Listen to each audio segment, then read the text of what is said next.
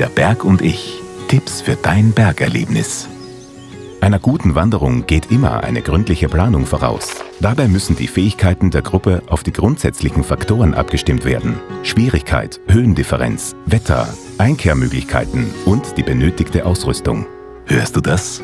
Der Berg ruft. Viel Spaß bei deinem Bergerlebnis in Niederösterreich.